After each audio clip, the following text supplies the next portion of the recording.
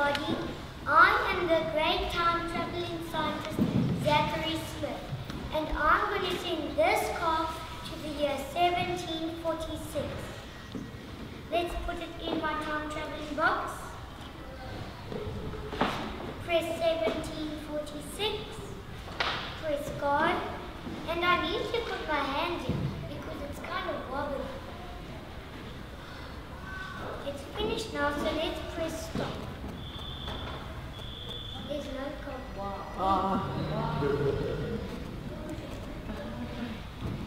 People have been interested in time travel for more than a hundred years.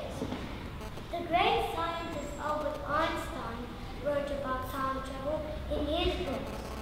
Many movies have featured time travel, like this one, Back to the Future. Don't you think these guys look similar? In Back to the Future, they used a car to travel through time. In my demonstration, I sent the car through time. Imagine the possibilities if we could travel through time.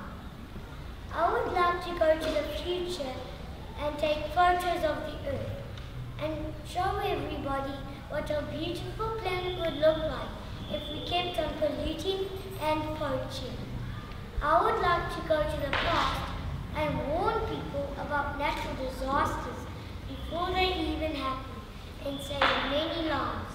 But right now, I would like to go to the year 1746 and fetch my car.